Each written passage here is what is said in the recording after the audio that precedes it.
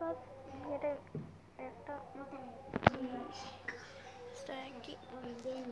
No toca dejar, no toca dejar que nos llame rata esa, esa niña. Porque yo también amo a mi tigra. Y me encantan sus videos.